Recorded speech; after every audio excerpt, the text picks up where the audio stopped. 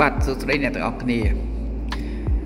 វីដេអូនេះខ្ញុំនឹងធ្វើការបង្ហាញអ្នកទាំងអស់គ្នាទាក់ទងទៅនឹងរបៀបដោះលេខកូដកុំព្យូទ័ររបស់អ្នក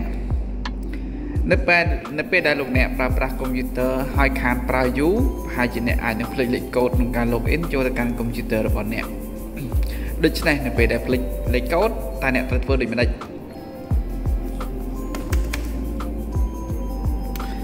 អញ្ចឹងបាទយើងមានជំរើសច្រើនបា ទទីមួយយកកុំព្យូទ័រហ្នឹងទៅខាង technical service ដើម្បីឲ្យគេដោះដោះស្រាយឲ្យយើងជាទូទៅតម្លៃនៃការជួសជុលវាអាច10ដុល្លារ5ដុល្លារឬក៏15ដុល្លារអាស្រ័យទៅលើក្រុមហ៊ុនមួយចំនួនគេមានស្តង់ដារគេមានធានាលើឯកសារអីជាដើមអញ្ចឹងតម្លៃរបស់គេក៏ទៅតាមនឹងដែរជំរឿនមួយទៀតគឺយើងអាចធ្វើវាដោយខ្លួនឯងឬក៏យើងអាច call ទៅមិត្តភ័ក្តិ ឬក៏ជួនកាលយើងផុស Facebook អីចឹងទៅដើម្បីសុំ solution ពីទៅកាន់មិត្តភ័ក្តិរបស់យើងអញ្ចឹងវីដេអូនេះគឺខ្ញុំនឹងធ្វើការបង្ហាញអ្នកទាំងអស់គ្នាក្នុងការដោះស្រាយបញ្ហាហ្នឹងដោយខ្លួនឯងតែម្ដង បាទមើលឲ្យចប់ទៅគឺអាចធ្វើបានហើយអូខេអញ្ចឹងខ្ញុំសាកនេះគឺជាកុំព្យូទ័ររបស់ខ្ញុំបាទអញ្ចឹងខ្ញុំជួយលេខកូដលេខមែនតើណាបាទខ្ញុំមិនដឹងខ្ញុំដាក់លេខកូដអីទេខ្ញុំ login ចូលអត់រួចទេដូច្នេះដើម្បីដោះលេខកូដនឹងវិញបាន បាទអញ្ចឹងអ្វីដែលយើងត្រូវការទី1គឺយើងបាទ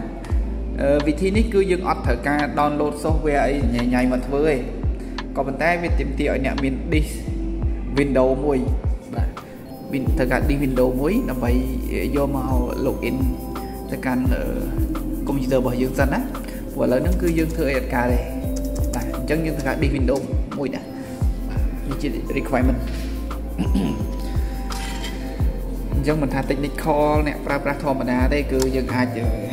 មើលទៅវីដេអូហ្នឹងប្រហែលជាអាចមានប្រយោជន៍ក្នុងការដោះស្រាយបញ្ហាហ្នឹងបានបាទនេះគឺជា disk Windows 10 64 bit បាទ version build 1607អញ្ចឹងខ្ញុំគ្រាន់តែយក Windows ហ្នឹងមកដាក់ចូលទៅក្នុង disk drive របស់ខ្ញុំមកអូខេ បន្ទាប់មកខ្ញុំធ្វើការ shut down shut down ចឹង shut down សិនយើងទៅទៅអូខេបន្ទាប់ពី shut down រលត់ហើយយើងចុចអឺ press ទៅលើ power button this one គេណាបាទគ្រាន់តែចុចបើកវាមកសិនមកយើងហើយចុច key I12 I12 ចុចណា យើងព្យាយាមចុចវាទៅរហូតដល់ម៉ាស៊ីនរបស់យើង boot up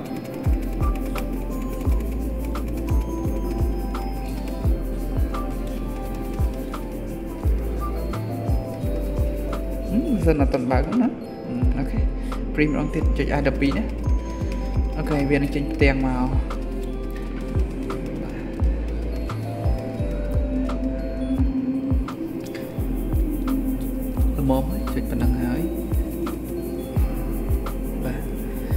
គឺ i12 នេះគឺវាចេញមក boot manager ឲ្យយើងអញ្ចឹងយើងរើសត្រង់ boot app អាខាងលើគេហ្នឹងគឺជា hard disk របស់យើងទី1ណាទី2គឺវាមានពាក្យថា ATA API CD-ROM គឺសំដៅទៅលើ disk របស់យើងណា disk drive ណាគឺយើង boot ចេញពី disk drive របស់យើង boot ចេញពីអា disk Windows របស់យើងហ្នឹងចុច enter មកអូខេយើងអាចចុច key ណាមួយនៅកន្លែងហ្នឹងណាចុចចុច key ណាមួយក៏បានដែរនៅលើ keyboard របស់យើង បាទនេះគឺជា Windows 10ដែលយើង boot ចេញពី disk អឺត្រង់កន្លែងហ្នឹងហ្នឹងគឺ disk ថ្មីសម្រាប់ write ចូលទៅក្នុងកុំព្យូទ័ររបស់យើងតែករណីនេះគឺយើងអត់ write write Windows ថ្មីចូលទេយើងគ្រាន់តែបញ្ឆោតវាណាគឺបញ្ឆោតបាទសូមចាំតិច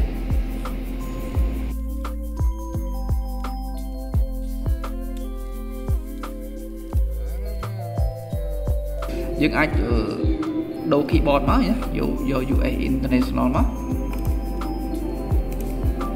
ត្រង់កន្លែងនេះគឺយើងយក repair ពាក្យថា repair យក computer នេះបាទយកពាក្យហ្នឹងមក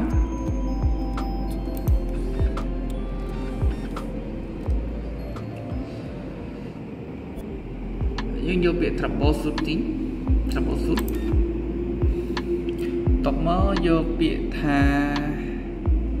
system image recovery បាទនេះគឺផ្ទាំងនេះវា error អញ្ចឹងយើង cancel វាមក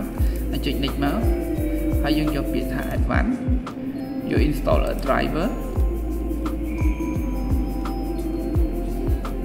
cancel មកអូខេក៏បានដែរបាទអញ្ចឹងនេះគឺជាកុំព្យូទ័ររបស់យើងដែលយើងត្រូវការ login ចូលណាអ ញ្ចឹងវិធីដែលយើងអាចធ្វើបានគឺយើងប្រោសមក disk របស់យើងណា disk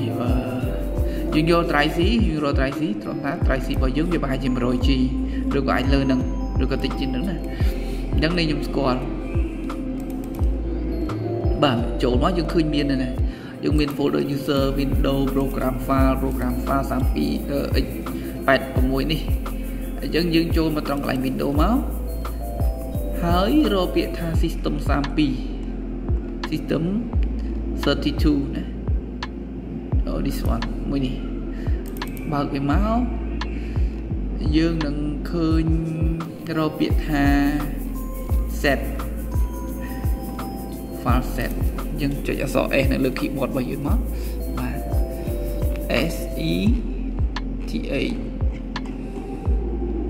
នេះមួយនេះបាទ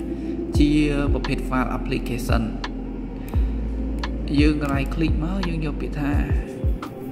ខាត់មកណាខាត់វាមកទុកមកយើងយកវាមក save នៅក្នុង drive C នឹងបាទនៅខាងក្រៅអូខេហើយហើយយើងអត់ឃើញវា refresh មកបាទមួយនេះយើងផាមកមិញហើយយើងចូលទៅកាន់ folder មិញណា system 32ហ្នឹង យើងរក file cmd cmd cmd អក្សរ c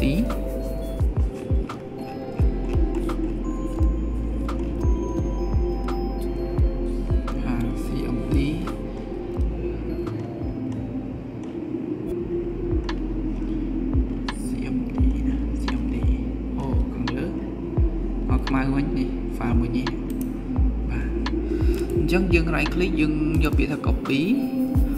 តមកយើងផាសនៅក្នុងនឹងវិញអឺដើម្បីចុចផាសបានយើងចុច control V នៅលើ keyboard ក៏បានឥឡូវដើម្បីងាយស្រួលយើងនេះរីកវាធំមកយើងយកពាក្យថា paste paste paste គេអានថា paste តើវាយើង paste មកហើយយើងអត់ឃើញទេយើង refresh វាសិន right click យកពីថា refresh យើងនឹងឃើញមាន file cmd copy យើង write យើងបដូរឈ្មោះវាឲ្យដូចឈ្មោះ file ដែលយើង file យើង copy មិញហ្នឹងបាទយើងបដូរវាមក s e t h c បាទយើងបដូរវាអញ្ចឹងមកអូខេហើយ refresh វាមកយើងឃើញឯ file ហ្នឹងវាទៅជា file set ណា file ហ្នឹងគឺជា sticky key តាមពិត asset file ឈ្មោះ set ហ្នឹងគឺ sticky key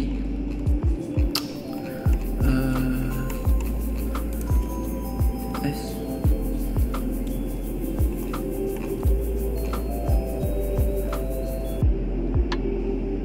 នេះបាទ file មួយហ្នឹងអញ្ចឹងយើងបានបដូរ file set ដើមចេញហើយយើងយក file set ថ្មីដែលយើងកែពី CMP មកជា file មួយហ្នឹងណាអូខេអញ្ចឹងយើងបិទទៅបាទ cancel ចុច cancel មកគឺយើងយកពាក្យ turn off PC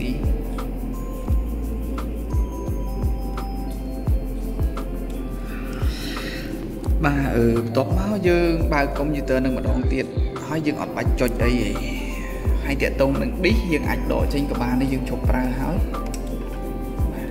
disk ហ្នឹងគឺបាទមានតុកមួយយើងដកចេញទៅយើងជប់ប្រើយើង disk ហ្នឹងគាត់ថាយើងដាក់បិឆោតវាតែប៉ុណ្្នឹងទេណាអញ្ចឹងពេលហ្នឹងកុំព្យូទ័រយើងនឹង boot boot ចូលទៅកាន់ Windows សូមរកចាំតិច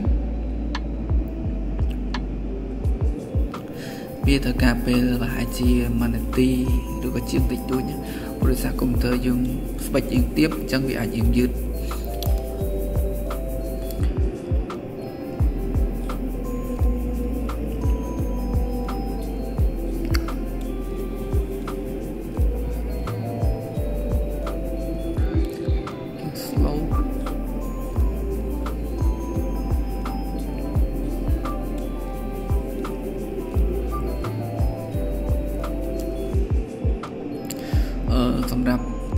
ទ័រជំនាន់ក្រោយគេប្រើ ASD អញ្ចឹងការ boot រៀងលឿនតែកុំព្យូទ័រខ្ញុំនេះវាយូរដែរហើយបាទប្រើ hard disk ធម្មតាវាការ boot Windows អីយើងយឺតតិចដែរអធិស្ឋានមកបាទអញ្ចឹងពេលហ្នឹងគឺយើង log in បាទសួរយើង log in យើងដឹងលេខកូដនៅអត់ដឹងទេបាទយើងអាចចូលបានទេអញ្ចឹងដើម្បីចូលទៅដូរលេខកូដចូលទៅដូរលេខកូដ ចាស់ណាយើងចុចទៅលើ shift key ណា shift key មួយនេះបាទចុច6ដងដើម្បី enable sticky key ហ្នឹង sticky key ហ្នឹងយើងដូរមកជា CMD ហើយអញ្ចឹងយើងចុចវា6ដងទៅវានឹងលោតផ្ទាំងខ្មៅមួយដើម្បីឲ្យយើង run comment បាទ1 2 3 4 5 6អូខេចេញមកច្រើនពេកច្រើនពេកហើយលើស អូខេអញ្ចឹងយើងរ៉ាន់ comment នៅក្នុងនឹងអឺបាទទៀតនៅដៃម្ខាងចាំតិចសិនខ្ញុំមើលបាទអញ្ចឹង comment គឺយើង save វាថាអឺទីមួយយើងធ្វើមើល user នេះឈ្មោះអីគេណាដើម្បីដូរលេខកូដបានមួយស្គាល់ឈ្មោះ user សិនអញ្ចឹងយើងវាពាក្យថា net user net user បែបនេះចុច enter អញ្ចឹងយើងឃើញថានៅក្នុងនឹងមាន user មួយឈ្មោះនេះណា Agile PC 44អញ្ចឹងយើងក៏សេពីថា net user បាទតោះមកយើងដាក់ឈ្មោះ user របស់យើង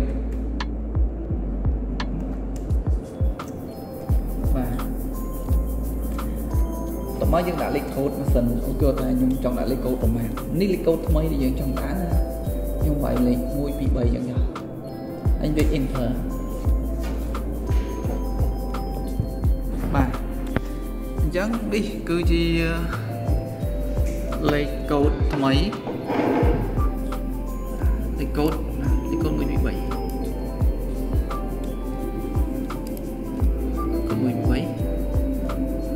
comment ដំបូងខ្ញុំបញ្ជាក់ណា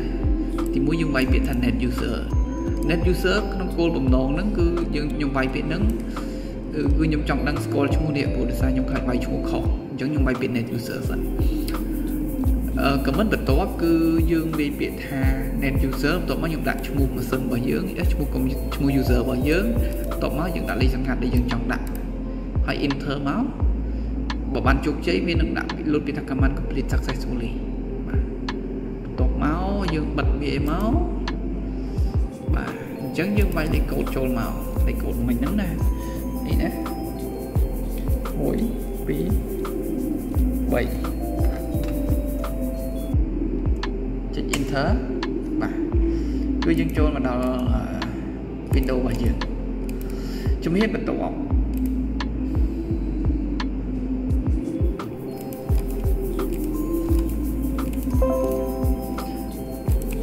ហាន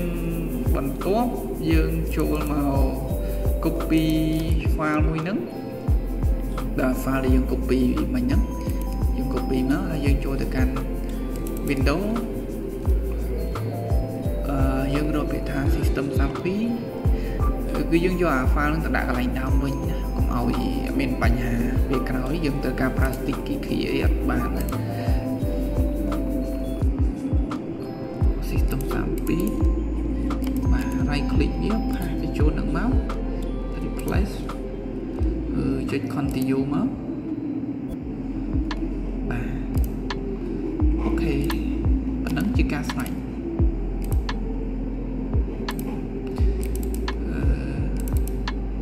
អានឹងយើងលុបចោលទៅមិនទុកទេអូខេការងាររបស់យើងយើងធ្វើតែប៉ុណ្្នឹងទេណាអញ្ចឹងអឺយើងសាក reboot ម៉ាស៊ីនមកយើងយើងសាក restart មើលថាវាដំណើរការយ៉ាងម៉េចដែរអូខេអត់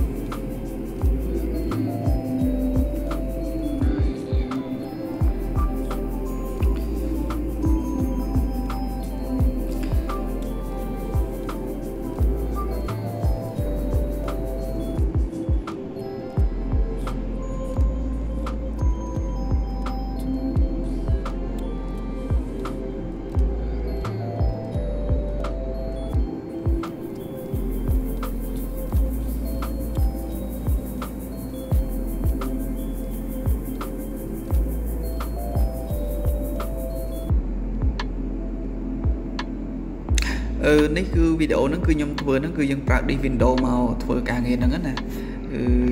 ខ្ញុំនឹងធ្វើវីដេអូមួយទៀតគឺប្រើកម្មវិធី Highland Boot CD ដើម្បីធ្វើការផ្លាស់ប្ដូរលេខកូដអឺបើសិនជាបងប្អូនយល់ថាវិធីសាស្ត្រណាល្អយើងប្រើវិធីសាស្ត្រហ្នឹងទៅហើយវិធីសាស្ត្រមួយនេះគឺវាមានមានវាត្រូវវាអាចប្រើបានគ្រប់ Windows ទាំងអស់បាទវាអាចប្រើ ប្រើបានគ្រប់ Windows ទាំងអស់ទាំង Windows 10 Windows 8 Windows 7គឺយើងអាចប្រើប្រាស់វិធីសាស្ត្រនឹងធ្វើបាន